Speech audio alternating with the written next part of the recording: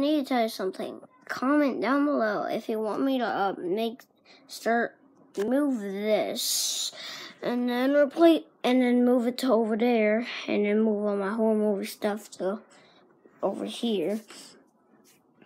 And then how you would want me to start making FNAF plush videos again. Comment down below when this video uploads. Comment down below. In this video, I'm pretty sure it's gonna upload before any of my other videos. I already want to upload it, I think. So yeah. So anyways, guys, peace out. Bye.